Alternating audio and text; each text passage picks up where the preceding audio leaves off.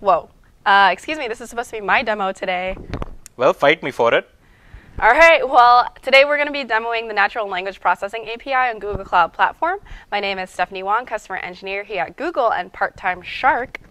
Hi, I'm Jatin. I'm also uh, a customer engineer here at Google Cloud. That's my day job, and I work my night shifts as Batman.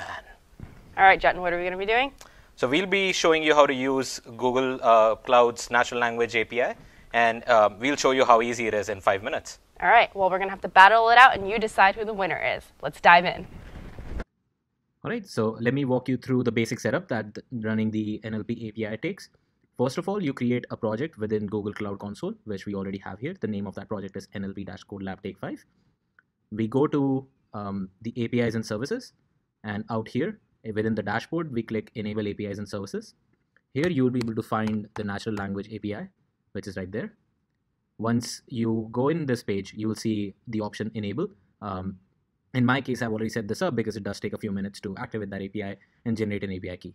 Once you have that enabled, you can go back and you will go into the APIs and services credentials tab and copy the API key out for yourself.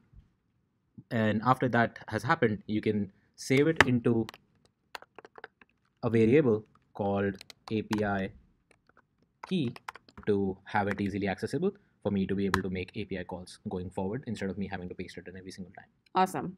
And just to explain, right now we're using our Cloud Shell editor, which is basically a shell that's provided to you in your Web Console UI directly so that you can manage any of your GCP resources. So here we're in our local directory and we've exported the API key. The next thing that we're going to do is analyze our text um, and we've saved that text in a JSON file that you see here in our inline editor, which is a request.json file. So here you can see the NLP API can actually take requests in the format of plain text or HTML, which means that you can also analyze text coming from HTML web pages. Here we've chosen plain text, and we have a sentence here about J.K. Rowling, which reads, Joanne Rowling, who writes under the pen names J.K. Rowling and Robert Galbraith, is a British novelist and screenwriter who wrote the Harry Potter fantasy series. All right, so now that we have that saved, we're actually going to run a curl command to send the request up to the NLP API. So I have the request here saved and I'm going to go ahead and run the command and it's going to give us back some results. All right, after running that curl call, we see that the results um, have come out in form of a JSON request, which can be analyzed in the application itself that you're using or within the Cloud Shell itself. Um, I'll go through what that actually, what the results actually mean. So this JSON file shows that name Robert Galbraith is a type of person, and this is the Wikipedia URL that they have, which points to the Wikipedia page of J.K. Rowling since she wrote under the pseudonym of Robert Galbraith um, it shows us the salience score of the result as well, which is the Robert Galbraith here. And it's always going to be between 0 and 1. It points out, points out how crucial that entity is to the whole sentence, to the structure of that whole sentence.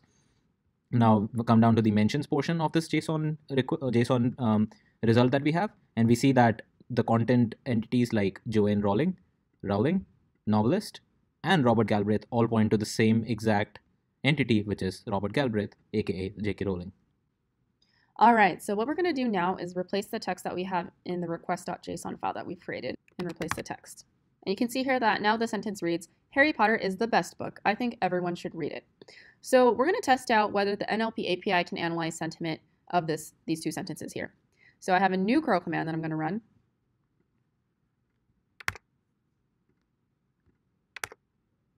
And you see here, it's now outputted information about the sentiment of the text that we've sent the request as.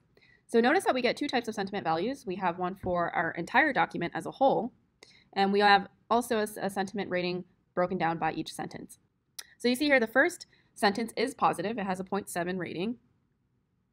And the magnitude is 0.7. The score is also 0.7 here. And then the second sentence is pretty neutral, 0.1 instead. And that's a sentence that reads, I think everyone should read it.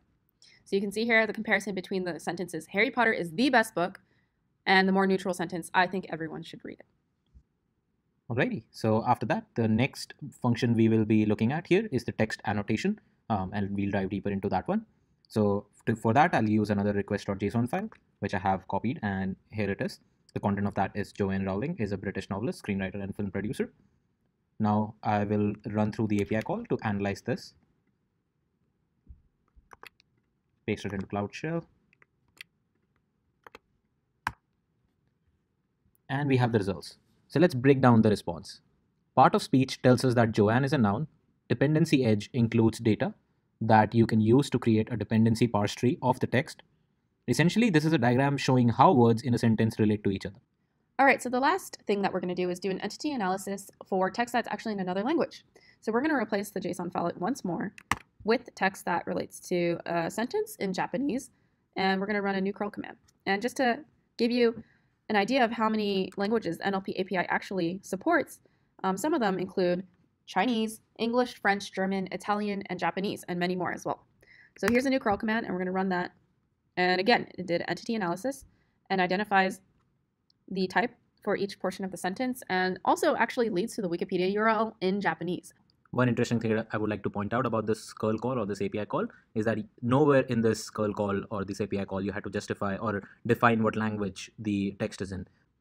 So just to conclude what all we have covered today in this Take 5 demo, We've created a natural language API request and called the API with curl. we extracted entities and run, ran sentiment analysis on text with the natural language API. We performed linguistic analysis on text to create dependency parse trees.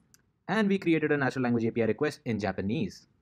All right. Well, honestly, I think I was the winner there. So go shark, go shark, go shark. Nah, nah, nah, nah. It's the Batman. Batman wins every single time. Well, honestly, I think all of you are the actual winners here. Because now you know how to use NLP API on GCP. All right. Well, thanks, Jatin. Until next time on Take Five. I don't have hands, I only have fins.